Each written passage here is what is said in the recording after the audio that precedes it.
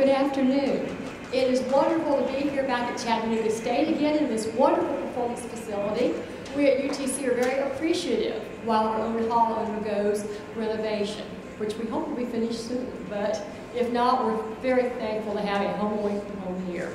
I'd like to thank my colleagues here, Nick Hartline, who very graciously donated his equipment for our use today, Ken Cardillo, who's helped with publicity here, and especially Justin Walker, the hall manager, who has made this so easy just to come here and perform, and I appreciate all he has done and how welcome he's made us feel.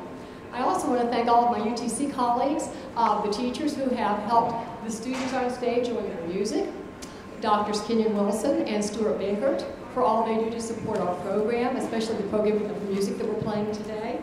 And I would like to thank Jordan Hicks, who helps us with publicity and social media, and especially Mike Andrews, who is out in the booth, and he's in charge of our live stream today for the people who could not see this concert in person. I should mention, for those of you on the live stream, hello, we're glad to have you with us. The only thing I need to tell you is that we will be live streaming the first two national anthems and the Mississippi Suite. At that time, at the end of that piece, the live stream will have to end for today. And that's because of licensing regulations. But we thank you for being here with us today. We do not have any seniors graduating from UTC this spring. Thankfully, we've got all these folks who we hope will be back with us. But we do have a couple of pre-university students who are going to be moving on to the next step in their education. Elizabeth Lindman has been with us several years. Elizabeth, go ahead and stand up. She's a violinist, she does a wonderful job. She just won a major scholarship for the Chattanooga Music Club. She's going to be majoring in violin performance at the University of North Carolina School of the Arts. Let's give her a round of applause.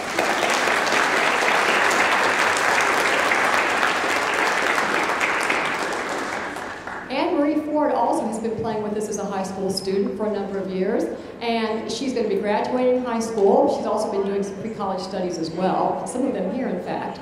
Um, and she's going to be coming to UTC. She's going to be majoring in music and economics. Anne Marie, thanks for all your work.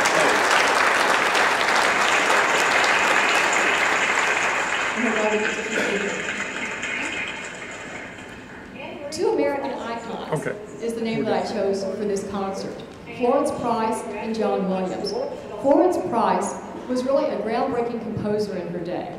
She was the first black American woman to have a piece performed by a major symphony, the Chicago Symphony, and she was one of four women at that time in America writing full-scale symphonic works. And so she was really quite a groundbreaker. She wrote wonderful music that received great reviews. Uh, if you get a chance, read my program notes, and you can find out even more about her. But we're very, very privileged to be able to play her music, especially this week. So fitting.